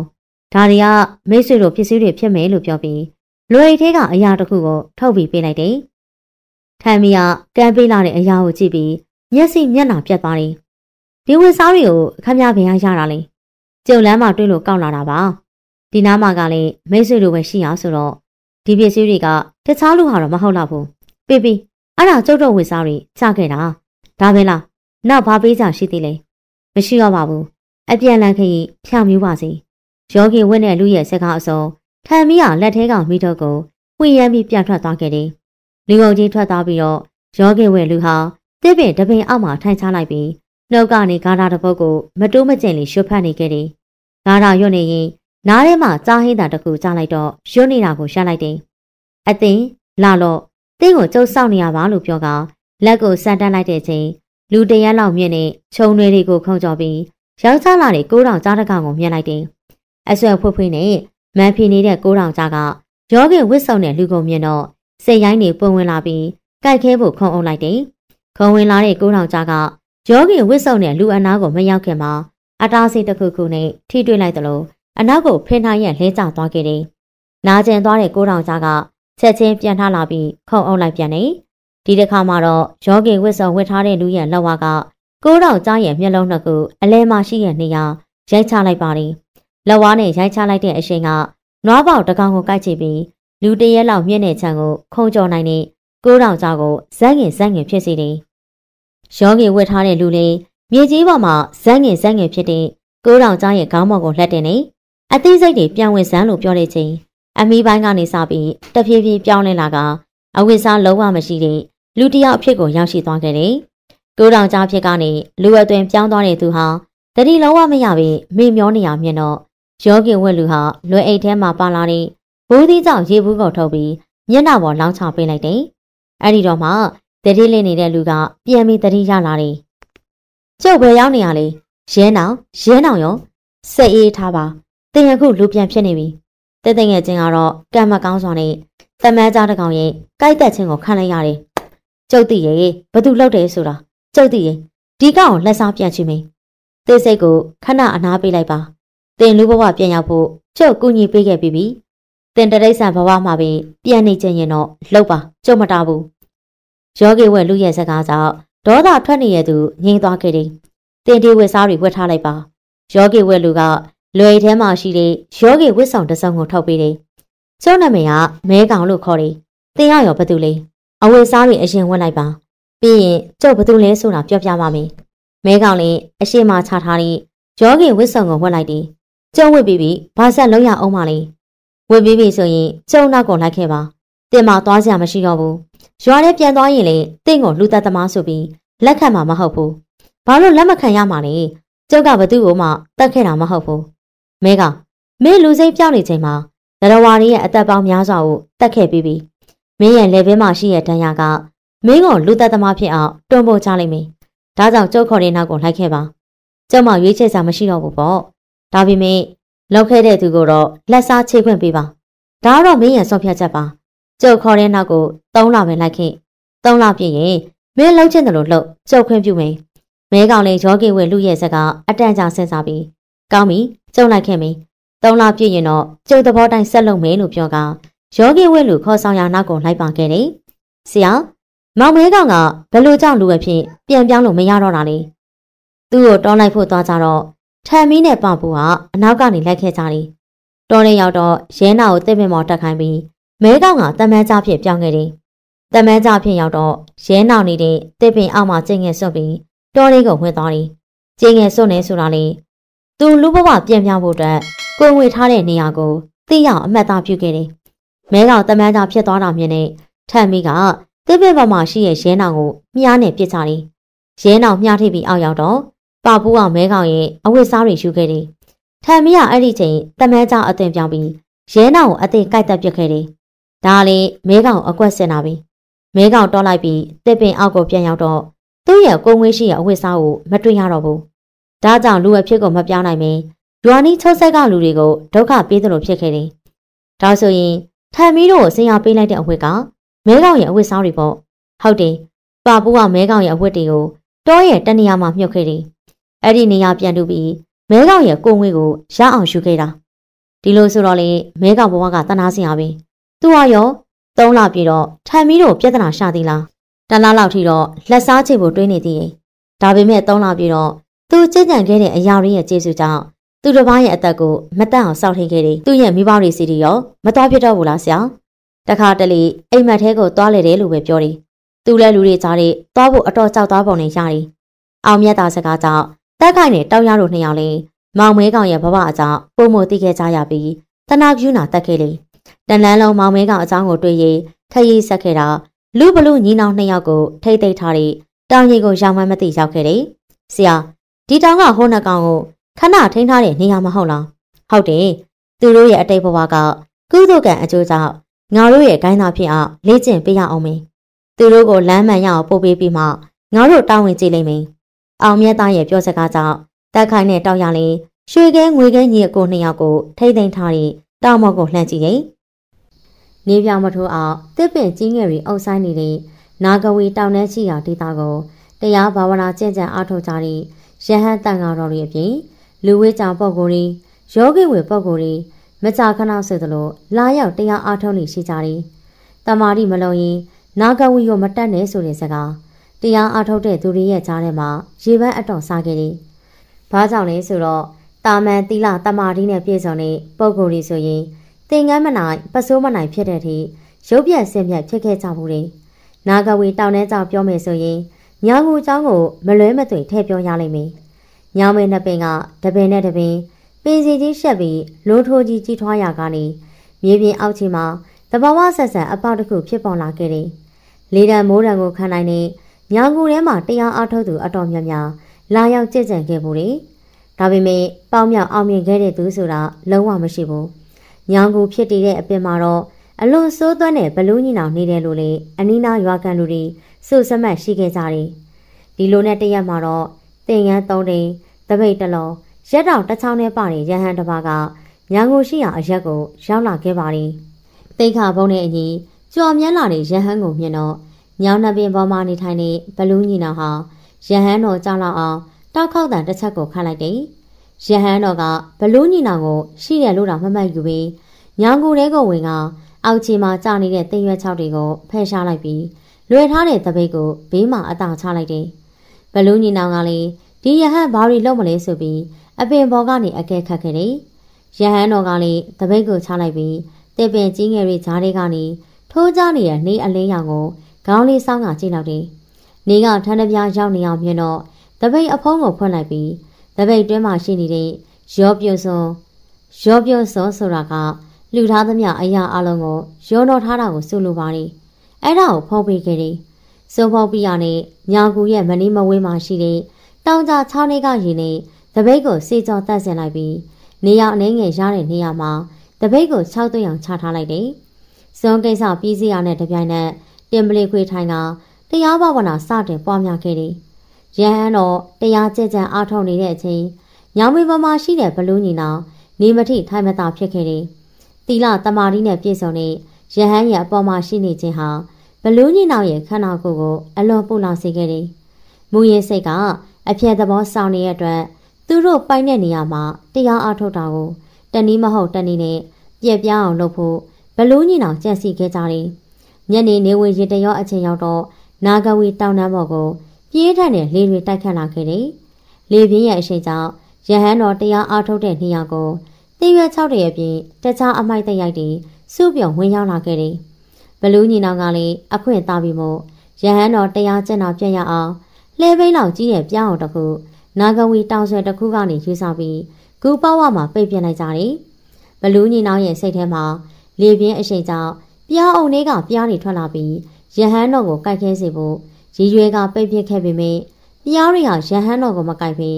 လေတန်းကိုကြက်ကြက်ခံရင်ဂူပေါဝပိတ်ထားပေးခဲ့တယ်။ ဘလူးညီနောင်လေးကအကြီးဖြစ်တဲ့သူဟာရဟန်းတော်ရဲ့ကြက်ကြက်မှုဖြက်စီးလို့မရတာမြင်တော့ဒေါသပုံထသွားပြီးဂူပေါဝါမှာပိတ်ထားတဲ့ပြားအောင်ကိုကြီးမားတဲ့လက်ဝါးနဲ့ဖျက်ရိုက်ချနေချိန်တင်တို့ဟာအတိတ်ဘဝကမကောင်းမှုကိုပြုခဲ့လို့အခုဘဝမှာရုံညံ့တဲ့ဘလူဘဝကိုရောက်နေခဲ့ကြတယ်။တင်တို့ရဲ့နှောက်ရက်ကြောင့်ငါကိုရောရဲ့ကြင်ကြံဆွမ်းအားကပြျက်စီးသွားမှာမဟုတ်ဘူးတင်တို့ဆက်လက်နှောက်ယှက်နေမယ်ဆိုရင်နောက်ဘဝမှာငရဲကိုကြာရမဲ့ပြီး အပယ်လေးပုံကနေဘယ်သောခါမှတရားတော့မှာမဟုတ်ဘူးလို့မိန့်တော်မူခဲ့တယ်။ရဟန်းတော်ရဲ့မြင့်တာတဲ့အပြည့်ပါတွေဆုံးမစကားကိုကြတော့ဘလူးညီနောင်လေးကအငြင်းဖြစ်တဲ့သူဟာအသိယဟန်တင်ရှိနေလို့ငါတို့နေရာမှာနေလို့မရဘူး။ဒါကြောင့်တင်တရားကြင်ကြံခြင်းရင်တခြားနေရာမှာကြင်ကြံမှာငါတို့မနှောက်ယှက်ဘူးဆိုပြီးပြောတော့ရဟန်းတော်ကဘလူးငယ်တင်းရဲ့စိတ်ထဲမှာနူးညံ့မှုအရေးရောင်တွေကိုငါကိုယ်တော်မြင်တွေ့နေရတယ်။တင်းရဲ့အကိုတော်မှာတော့ ကြမ်းတမ်းခတ်ထန်တဲ့စိတ်တွေမြင်တွေ့နေရတယ်။အခုငါကိုယ်တော်ရောက်လာတာကလေတင်းတို့ကိုကြွတန်းဝေးစေခြင်းလို့ကုသိုလ်အနေငယ်ရအောင်ဖန်တီးခဲ့တာပါလို့ပြောတော့အကြီးဆုံးဘလူကအိုးဘဲရဟန်ငါတို့ကတင့်ကိုဘာတွေလုပ်ပေးခဲ့လို့ကုသိုလ်အနေငယ်ရတယ်ဆိုပြီးပြောရတာလေဆိုပြီးမိကုံထုတ်ခဲ့တယ်။အတင်ဘလူညီနောင်တင်တို့ငါကိုတော့တရားပြတ်အောင်ဂူပဝမှာပြားအောင်တစ်ခုကိုထားပြီးတယ်။မဟုတ်ပါလား။ ဒီလောက်ရက်ကငါကိုတော်ကိုလေပြင်းထန်နေရနေကောက်ွယ်ပေးခဲ့တယ်။အဲ့ဒီကုသိုလ်ကြောင့်ဒီဘဝမှာတတ်တန်းကုန်ရင်လူဘဝမှာဝင်စားလိမ့်မယ်။နောက်ဆက်ဖြည့်ဆည်းခြင်းတဲ့စိတ်ကြောင့်လူဘဝရောက်ပြီမေဘလူးစိတ်သာတင်တို့မှာပါလာတဲ့အတွက်လူစစ်စစ်ကနေဘလူးဘဝကိုပြန်ရောက်ကြရအောင်မေလူတစ်ပိုင်းဘလူးတစ်ပိုင်းဖြစ်နေနှင်းအနေငယ်ခက်စားပြီးရဲ့ချင်းအောင်မြတ်သားဆိုတဲ့လူငယ်လေးကတင်တို့ရဲ့အာကုသိုလ်တွေကိုခြေဖြတ်ပြီးပြီးကောင်းမှုကုသိုလ်တွေ လောက်တတ်အောင်တင် जा ပြသပေးလိမ့်မယ်ဘလူးညီနောင်လေးရဟန်းတို့ရဲ့စကားကိုကြားပြီးရဲ့ချင်းတကူလုံးကျင်စက်နဲ့အတုခံလိုက်ရသလိုဖြစ်သွားပြီးတော့စိတ်ရိုင်းနေခက်တာလွှတ်ပြတ်သွားသလိုဖြစ်လာခဲ့ရတယ်။ရဟန်းတော်ကလည်းခြေချိုးရမယ့်သူတွေကိုခြေချိုးပြီးကောင်းကင်ခရီးနဲ့နာဂဝီတောင်တန်းတွေရဲ့အပေါ်ကနေကြွမြတ်သွားခဲ့တယ်။ဘလူးညင်အောင်အကြောင်းကိုတော့အောင်မြတ်တာနဲ့ဘလူးမွေးတဲ့ရွာ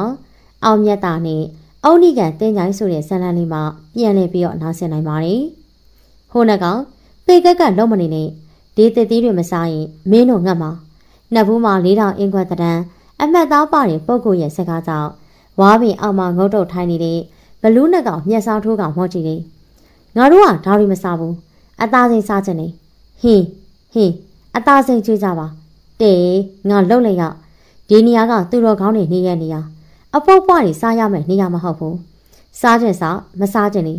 ဆရာအောင်မြတ်တာစကားကြောင့်မင်းတို့ကိုတိခတ်နေရကြက်ကြက်တတိထားငှက်ကြီးတောင်ဓာတ်ကိုဝင့်ပြီးကျင်းဝါလိုက်တဲ့ပုံကိုရဲ့စကားကြောင့်ဘလူးနှကောင်ဆက်ကလေးပုတ်သွားပြီးဘေးမှာချထားတဲ့ပန်းသီးတစ်လုံးကိုကိုက်ချလိုက်တယ်။အေးအဲ့လိုလိမ့်မချပါ။နောက်တစ်ခုထပ်ပြီးတတိပေးရအောင်မေ။ခဏနေရင်ဆရာအောင်မြတ်တာလို့ရောက်လာကြလိမ့်မယ်။ရိုးရိုးသေးသေးဆက်ဆက်နာပဲမြင်ချင်တာနော်။ ဈေးကက်ကလှုပ်လို့ရတော့ဟော်ရီယာတန်းတောင်ကမင်းတို့နှစ်ကောင်အတွက်ဖြစ်သွားမေ။နှကမ်းမွေရီရီအရက်ထောက်ထောက်မောင်းမောင်းတဲ့လူက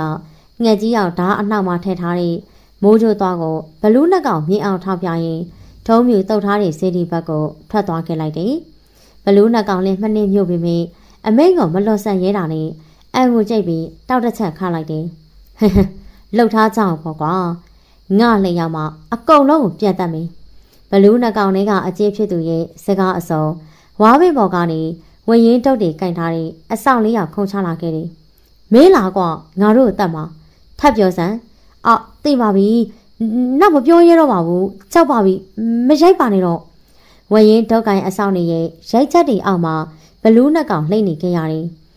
တော်ပြီတော်ပြီထပ်မရိုက်နဲ့တော့ဒီလောက်ဆိုသူတို့လည်းအတော်ကြောက်နေလောက်ပြီဩဇာအပြည့်ပါတဲ့စကားတန်ကြောင့် ဝရင်တော့ကင်ထားတဲ့အဆောင်နေရိုက်မလို့ရွယ်နေရကနေလှည့်ကြည့်လိုက်တယ်ဆရာရောက်လာပြီလားဒီကောင်တွေပိတ်ကက်ကက်ဂျိကက်ကက်လုံနေလို့စုံမနေရအောင်မြတ်သားကမြေကြီးပေါ်မှာလူးလဲနေတဲ့ဘလူးနှစ်ကောင်ကိုကြည့်ပြီးတင်တို့ကိုဒီခေါ်လာတာကောင်းစေခြင်းနဲ့စန္ဒာတစ်ခုပဲရှိတယ်။ဒါကြောင့်ဂလန်ကဆက်မလုပ်ဘဲကြုံပြောတဲ့အတိုင်းကြည်ကြံအားထုတ်ပါ။အစာပိုင်းကတင်တို့အတွက်ခက်ခဲလိမ့်မယ်။တဖြည်းဖြည်းတော့ကျင်းသားရသွားမှာပါ။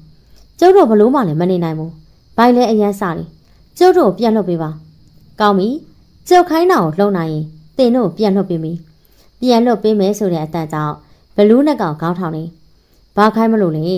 ကျုပ်တို့လုံးမေးပြန်လို့ပေးမယ်ဆိုတာသိကြပါတယ်နော်တိတ်သိကြတာပေါ့တင်တို့ကြုတ်ခိုင်းတာလို့ဖို့ဘိုက်ထဲမှာအစာရှိမှရမယ်ဒါကြောင့်ဘေးမှာခြာထားတဲ့အသီးနှံတွေကိုစားခြင်းသည်ဖြစ်စီမစားခြင်းသည်ဖြစ်စီစားလိုက်ပါ အောင်မြတ်သားရဲ့စကားကြောင့်ဘလူးနဲ့ကောင်လေးဘေးမှာခြာထားတဲ့အသီးနှံတွေကိုအောင်ရီတိခန့်ကစားပါလိမ့်ရောကဲစားလို့ပြီးရင်တောင်ထိပ်ကဇီဒီကိုတက်ကြရအောင်ဘလူးနှကောင်လေးအောင်မြတ်သာတက်သွားတဲ့အနောက်ကနေလိုက်တက်လာခဲ့တယ်။လက်တခြားမှာရှိတဲ့ဇီဒီငယ်လေးတွေတရားထိုင်နေကြတဲ့ပုံကိုယ်တွေကိုတွေ့လိုက်ရတယ်။တောင်ထိပ်ကိုရောက်တော့အောင်မြတ်သာကအနောက်ကိုလှည့်ကြည့်ရင်မင်းတို့ညီနောင်ဒီဇီဒီမှာနေရမယ်။မနေ့တစ်ချိန်နေ့လက်တစ်ချိန်ညတစ်ချိန် တရားထိုင်ရမယ်။တရားထိုင်တဲ့အချိန်မှာလေတရားဖြုတ်တဲ့ခေါင်းလောင်းတီးတန်ကြမှာမျက်လုံးကိုဖွင့်ကြည့်ရမယ်လို့ပြောတယ်။ကျုပ်တို့တရားမထိုင်တတ်ဘူး။တခါမှလည်းမထိုင်ဘူးဘူး။ဒါကတော့မင်းတို့သဘောပဲ။တရားမထိုင်ခြင်းရင်ဒီတောင်ကနေဘယ်တော့မှပြန်လို့ရမှာမဟုတ်ဘူး။အချိန်သိမ့်မရှိဘူး။မင်းတို့ဘာလုပ်ကြမှာလဲ။ဘလူးနှကောင်လေးအောင်မြတ်တာစကားကိုအတန်ကြာစဉ်းစားတယ်။ဒီအတိုင်းထိုင်နေရင်ရပြီမဟုတ်လား။အဲ့ဒါဆိုထိုင်မယ်။ ဒါနဲ့ကျုပ်တို့ဘလောက်ကြာအောင်ဒီစီဒီမှာနေရမှာလဲ။သတ်မှတ်ထားတဲ့စီကံတိုင်းရက်ပေါင်း60တိတိနေရမယ်။ရက်ပြည့်ရင်မင်းတို့သွားလို့ရခွင့်ပြုပေးမယ်။ကောင်းပြီ။ကျုပ်တို့စထိုင်ရမယ်အချိန်ကိုသာပြောပါ။ဘလူးနှကောင်ရဲ့စကားကြောင့်အောင်မြတ်တာက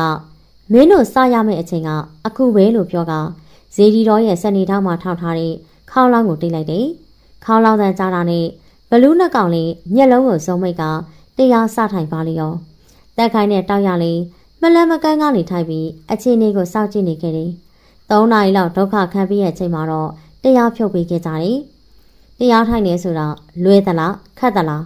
ဈေးညံလျှောက်နေရင်မေးလိုက်တဲ့အောင်မြတ်တာစိတ်ကားကြောင့်စေးပြက်လက်ပြက်ပုံစံနဲ့ထိုင်နေတော့ဘလူးနှကောင်ဟာတကယ်မလွယ်ဘူးထိုင်နေရင်လူကစောက်ထိုးဖြစ်သွားလိုက်ဘေးဆောင်ဖြစ်သွားလိုက်နေဒီကြားတဲ့ခြေထောက်တစ်ဖက်ကပြက်ထွက်တော့မလို့ကြိုက်သေးရင် ဒီလိုပုံနဲ့ဆိုရက်ပေါင်း90ပြည့်မှပြည့်ပါမလားဘီအစဖြစ်လို့ကျင်သားမရသေးတာဖြစ်ပါလိမ့်မယ်ကဲဗိုက်စာနေကြပြီမဟုတ်လားတက်ခါရင်တစ်သေးတွေယူလာပေးပါအောင်တစ်သေးဆိုတဲ့အတန်ကြောင့်ဘလူးနှကောင်ရဲ့မျက်နှာရှုံ့မဲ့သွားတယ်ဒါမျိုးတွေကြီးပဲရက်60တိတိစားရမှာလားဟုတ်တယ်လေဘာလဲမင်းတို့ကမစားချင်ကြဘူးလားမစားချင်လေရတယ်နော်စားပါမယ်စားပါမယ်ဘာရတာမှမရှိတဲ့အသေးနဲ့တွေကို ရက်90ပြည့်အောင်ချိန်မိတ်ပြီးအောင်စားပါမယ်ရက်ပြည့်ရင်တော့အသားစိမ်းတွေစားချင်မိတယ်မင်းတို့ရက်ပြည့်ရင်ငါကိုယ်တိုင်အသားစိမ်းတွေချကျွေးမယ်လို့ကြတိပေးတယ်အခုတော့ဒိဋ္ဌံအောင်မြင်အောင်ကြိုးစားကြပါအသားစိမ်းစားရမယ်ဆိုတဲ့စကားကြောင့်ဘလူးနှကောင်ရဲ့မျက်လုံးတွေဝန်းလန်းလာပြီးအနားမှာရှိတဲ့အသေးနှံတွေကိုအာပါတရစားပါလိမ့်ရောဒီလိုနဲ့ရက်တွေအချိန်တွေကုန်ဆုံးလာခဲ့တာပထမရက်30ပြည့်တဲ့နေ့ကိုရှောင်းလာတယ်ဘလူးနှကောင်လေး တရားထိုင်တာကိုနီးစနစ်မှန်လာသလိုအသေးနှံတွေရဲ့ရတာကိုလည်းခန်းစားတတ်လာတယ်တရားဖြုတ်တဲ့အချိန်တွေမှာနေအောင်မြတ်သားရဲ့ပြောဆိုဆုံးမမှုတွေကြောင့်ရိုးသေးရမယ့်သူကိုရိုးသေးလာပြီးစကားပြောဆိုဆက်ဆက်ပုံကအစပြောင်းလဲလာခဲ့တယ်ဒုတိယရက်30ကိုရောက်တော့ဒဇွဲတွေကအမဲရောင်ကနေအဖြူရောင်ဘက်ကိုတန်းလာခဲ့ပြီးမျက်လုံးတွေကလည်းအနီရောင်ကနေအဖြူရောင်တန်းလာခဲ့ကြတယ်။ကိုမပေါက်နေတဲ့အမဲရောင်အမွှေးမြင်နေရလေညီ ညွတ်ရောင်အဖြစ်တဖြည်းဖြည်းပြောင်းလဲလာခဲ့တယ်။ရက်ပေါင်း90ပြည့်တဲ့နေ့မှာတော့ဘလူးနှကောင်တရားထိုင်နေတဲ့ဇီရီကိုဂိုင်းအောင်နှက်တွေအပြင်ဓားပိုင်ဒုတ်ပိုင်ကြိမ်ပိုင်အဆောက်တွေပါရောက်လာခဲ့ကြတယ်။နောက်ဆုံးဒိဋ္ဌံပြည်ဆုံးတဲ့ခေါင်းလောင်းတဲ့ကြားရတဲ့ဘလူးနှစ်ကောင်လေးတရားထိုင်ရင်းကိုဖြုတ်ပေးရဲ့အချိန်အောင်မြတ်တာကမင်းတို့ကခုချိန်ကစပြီးမင်းတို့လွတ်လပ်သွားကြပြီမင်းတို့သွားခြင်းတဲ့နေရာသွားနိုင်ပြီမင်းတို့စားခြင်းနဲ့အသားစိမ်းတွေကိုလည်း စိတ်တိုင်းကြစားသားနိုင်ပြီငါလည်းဂရိပေးရတိုင်းမင်းတို့ကိုကျွေးမွေးရအောင်မယ်မဟုတ်လားအောင်မြတ်တာက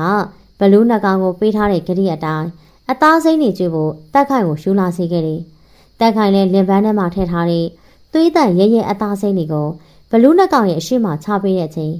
အကြီးကောင်ကလင်မန်းထဲကအသားစိမ်းတရုံးကိုကောက်ယူပြီးဗဇန်နာတိတ်တဲ့အချိန်မှာ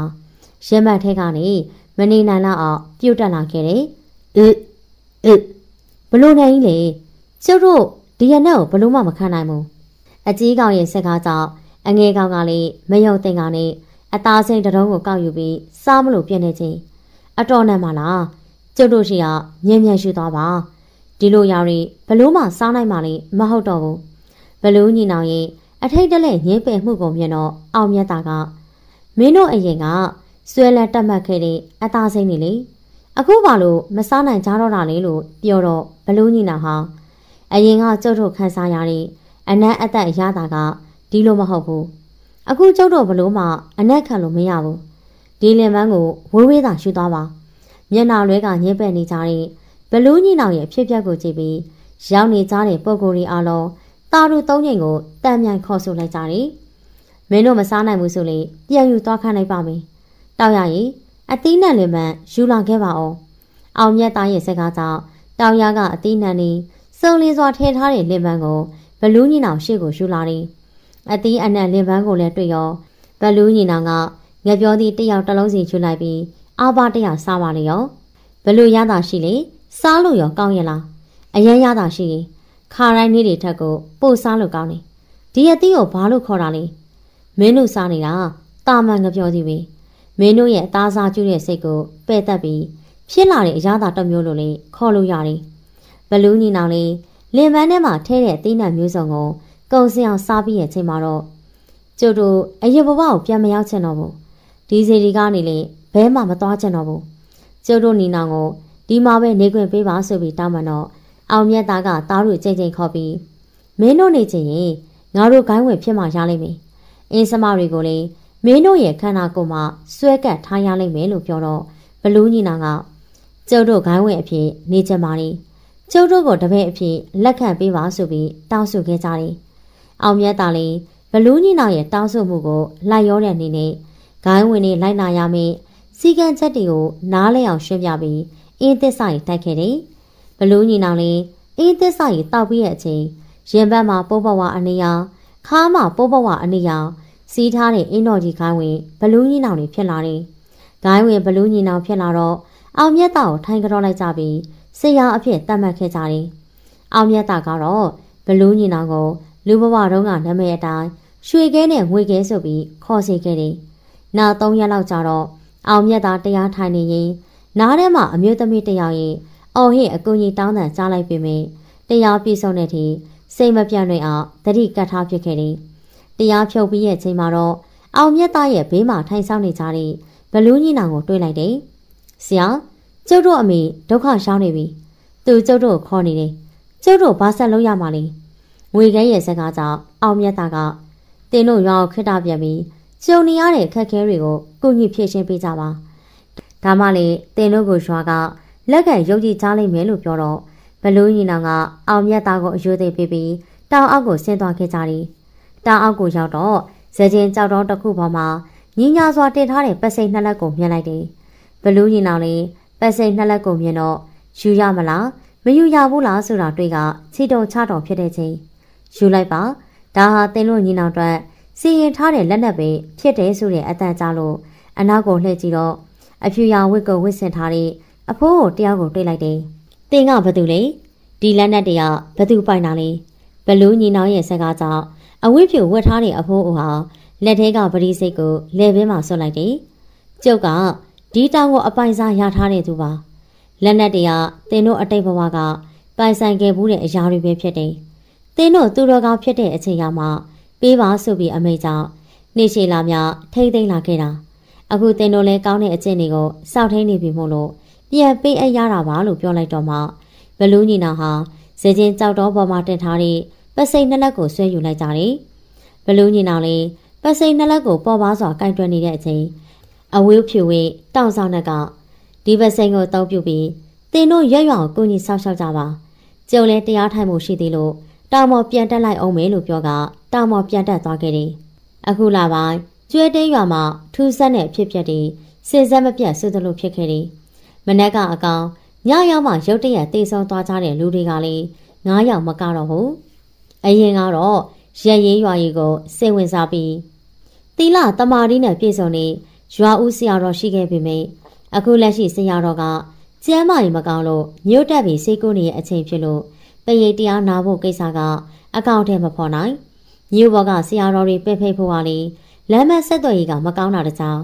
ဓမြရီရဲ့ရန်တက်မှုကြောင့်တရွာလောစိတ်ဓာတ်တွေကျဆင်းလာခဲ့တယ်။မင်းညကအပြိုမာလေးလှရီတည်သွားတယ်ဆိုတယ်မဟုတ်လား။ တက်ကဲမိုးနေရင်လှမ်းမေးလိုက်တဲ့တန်းမောင်ဆက်ကကြောင့်အောက်ကနေတက်ကဲတွေကမ်းပေးနေတဲ့ခွေးပူကဟုတ်တယ်တန်းမောင်ကြီးညထမင်းစားပြီးတော့ရေးစားလို့ရေးထားတော့တာရေးသေးပြီးသေပါလေရောရွာမလေးတယောက်ရက်လက်ပြီးရုံပဲရှိသည်နောက်တယောက်ထပ်တည်ရပြီအဲ့ဒါဟိုလင်မယားကြောင့်ဖြစ်တာလို့ငါထင်နေတမ်းမောင်စကားကြောင့်ခွေးဘူးကပါဇက်ကိုလှမ်းညွှန်းနေပိတ်တယ်ရှ်တူတူပြောပါဟာတကြီးကြသွားရင်နှစ်ကောင်လုံးထိတ်တုံမိနေပါအောင်မင်းကြာကြကွာ ငါပြောတာမဟုတ်လို့လားသူတို့လက်မယားကဘလူးမွေးလို့ငါတို့ရွာခိုက်တာအခုလဲသူတို့မွေးထားတဲ့ကောင်းတွေမှမရှိတော့တာဖြစ်ပြီးခဲ့တာတွေလည်းမပြောပါနဲ့တော့ကွာတက်ကဲကသာပြီးအောင်မိုးစမ်းပါခွေးပူရဲ့စကားကြောင့်တမ်းမောင်ဘာမှဆက်မပြောတော့ဘဲခေါမိုးကိုသာပြီးအောင်မိုးလိုက်တယ်တကြီးတကြီးထန်တော်ပိုင်ရှင်လှမြင့်ရဲ့အော်တန်းကြောင့်တကြီးကရေနံစီမင်းရဲ့အလင်းရောင်ကိုမြှက်လိုက်ပြီးလှမြင့်မလားညာကြီးချိန်မတော့ဘာဖြစ်တာလဲ ရွာထဲမှာတရေပူးသလိုဖြစ်နေတဲ့သူတွေလေးငါးယောက်မကောက်တော့ဘူးလာကြည့်ပါဦးဟေးငါလာခဲ့မယ်ညပွင့်မင်းအိတ်ချင်းအိတ်တော့နော်တကားကိုလည်းသိချပိတ်ထားအောင်တကြီးကဇနီးဖြစ်သူမြောက်ပွင့်ကိုလှမ်းမရင်လှမြင့်ခေါ်ရနောက်ကိုလိုက်ခဲ့တယ်ငါတို့လူစားလဲပြီးတော့မလဲပေးရင်တရွာလုံးသိအောင်တတ်မယ်ခြေလက်တွေကောက်ွယ်ပြီးအတန်နဲ့ကြီးနဲ့အော်နေရဲ့သူကိုမြင်တော့တကြီးကဟေးနင်တို့ကဘယ်ရလဲငါကဒီရွာရဲ့တကြီးပဲ နင်တို့ဘာဖြစ်ချင်လဲငါ့ကိုပြောစမ်းတကြီးငါတို့အမဲသားစားချင်တယ်ငါရဲ့ပေါင်းပေါရီကလေးစားချင်တယ်ပြောတယ်အခုချက်ချင်းအမဲသားမိုးခိုသားအစိမ်းကိုငါပြောပန်းနဲ့ထည့်ပြီးလမ်းလေးကွာမှာထားပေးပါဒီရဲ့ချိန်ကြီးအမဲသားဘဲကသွားရှာရမှာလေနင်တို့စားချင်နောက်နေကျွေးမယ်အခုတော့ကိုနေရကိုပြန်ကြမကျွေးရင်ဒီကလေးမအောင်တတ်မှာအခုတော့သူ့ကိုယ်တွေကသွေးတွေစုပ်နေပြီးတော့ငါတတ်လိုက်ရမလားဝင်ပူးနေတဲ့သူ့ရဲ့စကားကြောင့် တကြီးမျက်နှာပြက်သွားတယ်။ဒီအချိန်ကျမှအမဲသားဘယ်မှာသွားရှာရမှာလဲ။မထူးပါဘူးကွာ။ငားမှရှိနွားတကောင်တက်ပြီးကျွေးရတော့မှာပဲ။အခုကြည့်နေတဲ့သူတွေထဲကတယောက်လောက်သားသက်သမားအောင်မိုးကိုမြက်မြက်သွားခေါ်ပြီးတော့အိမ်ကနွားကိုရှူတဲ့အခါငါမိမမသိအောင်ယူအောင်သူသိရင်ပေးတတ်မှလည်းမဟုတ်ဘူး။တကြီးစကားကြောင့်တရေပိုးတာကြည့်နေကြတဲ့ကာလာသားတွေ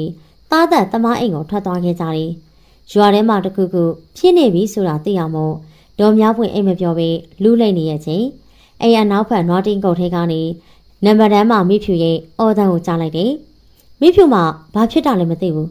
အကောင်နေပါနေများဝင်းလို့များလားဒေါ်များပွင့်တယောက်တည်းရေရုံရင်အိမ်နောက်ဖေးတကားကိုဖွင့်နေချင်းကာလာသားနှစ်ယောက်ကမိဖြူကိုခြိတိုင်ကနေဖြုတ်ပြီးဆွဲကော့သွားတာမြင်လိုက်တယ်ဟိုကောင်လေးတွေဘာလို့ကြတာလဲအခုရက်စံ ဒေါ်များပွင့်ရဲ့အော်တန်ကြောင့်မိဖြူကိုဆွဲသွားတဲ့ကာလာသားတစ်ယောက်ကတကြီးကလာယူခိုင်းလို့လာယူတာပါအရေးမယုံရင်မနဲ့ကြရင်တကြီးကိုမေးကြည့်လို့អော်ပြီးအမောက်တူတဲ့ဝင်သွားခဲ့တယ်တကြီးယူခိုင်းနေဆိုတာမို့ဒေါ်မြောက်ပွင့်ဘာမှထမ်းမပြောတော့ပြီးအိမ်နေရန်ကိုမိကမေးနေတဲ့အချိန်အမေအမေထပါဦးအိမ်နေရန်ကိုပုတ်ပြီးခေါ်လိုက်တဲ့အတန်းကြောင့်ဒေါ်မြောက်ပွင့်လှန်နိုးလာပြီးဘသူလဲဘသူခေါ်နေရလဲအမေနိုးပြီလား ကျုပ်တို့ကရွှေခဲနဲ့ငွေခဲပါတာတားတို့နှစ်ယောက်ပြန်လာတာလားအမေဆင်းလာခဲ့မေအမေဆင်းလာပြီနော်အမေမဆင်းလာနဲ့အမေကျုပ်တို့ကိုမြင်ရမှလည်းမဟုတ်ဘူးအခုရွာထဲမှာမကောင်းဆိုးဝါးတွေအများကြီးရှောင်းနေတယ်ဖြစ်နိုင်အိမ်မော်ကနေအိမ်ရောက်ကိုမဆင်းပါနဲ့ဒီကိစ္စကိုကျုပ်တို့နှစ်ယောက်ဖြေရှင်းပေးမယ်အားလုံးပြီးမှအမေစီပြန်လာခဲ့မယ်တားနှစ်ယောက်ဖြစ်တဲ့ရွှေခဲနဲ့ငွေခဲရဲ့အတန်အစုံမှာဒေါ်များပွင့်လှန်နိုးလာပြီး ဗဒင်းမောက်ကိုဖွင့်ကြည့်တော့ခြံဝင်းထဲကနေထွက်သွားတဲ့လူရင်းနှစ်ခုကိုတွေ့လိုက်တယ်။အမဲသားအစိမ်းတော်ကိုလက်နှစ်ဖက်နဲ့ကိုက်ပြီးစားနေတဲ့မဲမဲအကောင်ကြီးရဲ့ပြီးမှတော့စားခြင်းစားချက်တွေကိုစားဖို့စောင့်နေတဲ့နာနာဘဝတွေပြည့်ကျက်နေတာရွှေခဲနဲ့ငွေခဲတို့လှမ်းမြင်လိုက်ရတယ်။ဒီကောင်နေအရင်ကရွာမှမရှိဘူး။ဘယ်ကနေရောက်လာကြတာလဲ။ဟုတ်တယ်။ငါစိတ်ထင်နေမြေကြော်ပြီးရောက်လာတဲ့ကောင်တွေပဲဖြစ်ရမယ်။ဒီကောင်တွေကိုအခုမောင်းထုံးမှ မဟုတ်ရင်တရွာလုံးဒုက္ခရောက်ကုန်လိမ့်မယ်။တွေ့သမျှကုန်းသာခေါက်ကွာငါတို့ကလူဝတ်တက်ကိုမတက်ရဘူးလို့ပဲတစ္ဆာဆုတ်ထားတယ်။ဒီကောင်တွေခုတ်တာဘာမှမဖြစ်ဘူး။ရွှေခဲကလက်ထဲကပစိန်ကိုကြစ်ကြစ်ပန်းအောင်ဆုပ်ရင်စူပြုံတိုးဝေနေကြတဲ့နာနာဘဝတွေရှိရကိုတဟုန်လုံးပြေးသွားတယ်။ရွှေခဲဝင်သွားတာမြင်တဲ့ငွေခဲကလည်းပစိန်ကိုလက်နဲ့ဖက်နဲ့ကင်ပြီးတွေးသမျှနာနာဘဝတွေကိုအားကုန်ခုတ်ပါလေရော။ရုတ်တရက်ဘဲကပေါ်လာမှမသိတဲ့ဘလူးနှစ်ကောင်ကြောင့် နာနာဘဝတွေအားလုံးခြေဦးတရာထွက်ပြေးပါလေရောပစိန်စာမိတဲ့သူအချို့ကတော့ဥကောင်းပြက်လက်ပြက်တွေဖြစ်သွားကြတယ်နာနာဘဝတွေဖြစ်တာမို့ပြက်သွားတဲ့ခေါင်းတွေခြေထောက်တွေလက်တွေကိုတခုချင်းပြန်ကောက်တဲ့သူဟာကောက်တချို့ဆိုဥကောင်းပြက်ကြီးကိုရင်မထဲမှာပိုက်ပြီးထွက်ပြေးသွားကြတယ်ဒီကောင်တွေရွာထဲကိုပြန်လာကြအောင်ပါပဲပြန်လာတော့လေပစိန်စာကျွေးလိုက်ကြရောပေါ့ဘာများခက်လို့လေဒီအတိုင်းဆိုရင်ငါတို့ကရွာမှာအမြဲတမ်းနေရမယ့်ပုံစံဖြစ်နေတယ် ဆရာကငါတို့ကိုခိတောက်ပြန်လိုက်အောင်ဆိုပြီးလှုပ်လိုက်တာရွှေခဲကစကားပြောရင်ငပြောဘက်ပေါ်မှာတိတ်ကြရက်ခဲ့တဲ့အမဲသားတော်ကိုခြေထောက်နဲ့ကန်ထုတ်တယ်တော်ပြီတယ်တော်ပြီတယ်နှစ်ယောက်လုံးအရန်တော့ကြတယ်ကိုယ်စိတ်ကိုလည်းထိန်းနိုင်သွားကြပြီပဲရုတ်တရက်ကြားလိုက်ရတဲ့တန်ကြောင့်လှည့်ကြည့်ရဲ့အခါမှာတောင်ပေါ်မှာကြံခဲ့တဲ့အောင်မြတ်တာကိုမြင်လိုက်တယ်ဆရာလိုက်လာတယ်ပေါ့လေဘာလဲကျုပ်တို့ညီနောင်ကိုစိတ်မချဖြစ်နေရလား မင်းတို့ကိုငါယုံကြည်လို့လွှတ်လိုက်တာလေဒါပေမဲ့တချို့ကိစ္စတွေကိုမင်းတို့မလုပ်နိုင်သေးဘူးဒါကြောင့်လိုက်လာခဲ့တာပါခုနအကောင်တွေကိုဆရာမြင်နေမဟုတ်လားဒီကောင်တွေဘယ်ရရောက်လာကြတာလဲမင်းတို့တွေ့လိုက်ရတဲ့ကောင်တွေကဒီနားတော့ဝိုက်ကဖုံးစိုးမြေတွေမှာကျေးလဲကြက်စားနေတဲ့ကောင်တွေပဲဒါဆိုမကြခင်ပြန်လာကြအောင်ပါပေါ့သူတို့မလာရအောင်ဘယ်လိုလုပ်မှလဲအခုငါလာရတဲ့အကြောင်းကလေဒီရွာထဲမှာ ပယောဂကြောင့်လူသေးဆုံးမှုတွေမဖြစ်အောင်တားဆီးပေးဖို့ပဲဒီညတော့ရွာထိပ်ကတရက်ပင်မှာမင်းတို့နေရမည်နာနာဘဝတွေထပ်မဝင်လာအောင်ဒီညတော့ထိန်းထားပေးပါအောင်ဆရာစင်ကောင်လိုက်နာပါမယ်ကျုပ်တို့မပြန်ခင်အဖေနဲ့အမေကိုတော့တွေ့ချင်ပါသေးတယ်စိတ်ချပါမနှက်ဖြန်မင်းတို့ဆန္ဒပြအောင်စီစဉ်ပေးခဲ့ပါမယ်အောင်မြတ်တာကဘလူးညီနောင်ကိုရွာထိပ်မှာနေဖို့တာဝန်ပေးခဲ့ပြီးရွာသားကြီးအိမ်ရှိရာဘက်ကိုထွက်သွားခဲ့လိုက်တယ် ညအချိန်မတော်အိမ်ကိုရောက်လာတဲ့အောင်မြတ်တာကိုမြင်တော့တကြီးနဲ့တော်များပွင့်ဝမ်းသာသွားကြတယ်အောင်မြတ်တာလေးတကြီးနဲ့တော်များပွင့်ကိုရွှေခဲနဲ့ငွေခဲအကြောင်းနားလဲအောင်အသေးအချာရှင်းပြပေးခဲ့တယ်နောက်တနေ့မနေ့ရောက်တော့အောင်မြတ်တာကရွာသားတွေနဲ့တကြီးလင်မယားကိုရွာထိပ်ကတရက်ပင်အောက်ကိုခေါ်လာတယ်တရက်ပင်အောင်ရောက်တော့ရွာသူရွာသားများအလုံးတိကြတဲ့တိုင်ဒီရွာမှာအလွန်ဆိုးသွမ်းနေဘလူးနှကောင်မွေးခဲ့ဘူးတယ်သူတို့ကြောင့်လေ နင်းနာဆုံရှော့ခဲ့ကြတဲ့သူတွေလည်းရှိခဲ့တယ်အခုတော့သူတို့ရဲ့မှားကိုသိပြီးသူတော်ကောင်းလမ်းစဉ်ကိုကျင့်သုံးနေပြီဖြစ်ပါတယ်ညကရွာထဲဝင်လာတဲ့နာနာဘဝတွေကိုလေရွှေခဲနဲ့ငွေခဲဆိုတဲ့ဘလူးညီနောင်ကမောက်ထုတ်ပေးခဲ့တယ်ရွာသူရွာသားတွေမယုံဘူးဆိုရင်ကျုပ်လက်ပေါ်တင်ထားတဲ့ပြောင်းကိုမျက်လုံးကွေးပြီးတရက်ပင်မော်ကိုကြည့်ကြပါသူတို့ကိုလက်ခံနေဆိုရင်တော့ဒီနေရာမှာနှက်ကုန်းလေးနှစ်ခုစောက်ပြီးပြီးအသိမှန်ပြကြပါ သူတို့ကလည်းရွာကိုကောက်ဝဲဆောက်ရှောက်ပါလိမ့်မယ်အောင်မြတ်တာရဲ့စကားဆိုမယုံကြည်သူအချို့ကပြာကိုမျက်လုံးမှာကွင်းပြီးကြည့်ရခါရင်စည်းအနီခါးစည်းအနီစီးထားပြီးပစိန်တလက်ကိုထမ်းထားတဲ့ရွှေခဲနဲ့ငွေခဲကိုတွေ့မြင်ကြခဲ့တယ်ကိုယ်တိုင်ကြည်ရဲသူတချို့တဝက်လက်ကလက်ခံခဲ့ကြပြီးမယုံကြည်သူအချို့ကလက်မခံမဲ့ညှဉ်းပယ်ခဲ့ကြတယ်အောင်မြတ်တာလေးဘလူးညီနောင်ကိုတရားအားထုတ်ဖို့မှာကြပြီးခြေဦးတက်ရလျှောက်သွားက လူတွေကိုဒုက္ခပေးနေတဲ့နာနာဘဝတွေကိုနှိမ်နေဖို့ကျွဲတဲရွာကနေထွက်လာခဲ့လိုက်တယ်။နောက်ပိုင်းမှာတော့ကျွဲတဲရွာကလူအတော်များများရွှေခဲနဲ့ငွေခဲကိုရှုံးကြည့်လာကြပြီးရွာဆောင်တဲ့အဖြစ်ကိုးကွယ်ခဲ့ကြတာအခုထိတိုင်ဖြစ်နေပြီ။အခုတော့ဖိုးရွှေကေဖိုးငွေကေဖြစ်နေပါပြီ။ဟုတ်ကဲ့ပါ။ကျမတို့ channel ကထောင်းလင်းပေးခဲ့တဲ့ဇာတ်လမ်းကတော့ဒီနေရာမှာပဲပြည့်စုံခဲ့ပါတယ်။ နောက်ရက်တွေမှာလည်းစိတ်ဝင်စားဖို့ကောင်းတဲ့ဇလန်းကြောင်းရာတွေပြောပြပေးအောင်ပါမို့နောက်ဗီဒီယိုလေးကိုဆက်လက်ဆောင်မျှော်ပြီးတော့အားပေးနာဆင်ကြပါအောင်နော်အားပေးနာဆင်သူပရိသတ်များအားလုံးကိုချစ်စစ်တင်ပါတယ်ရှင်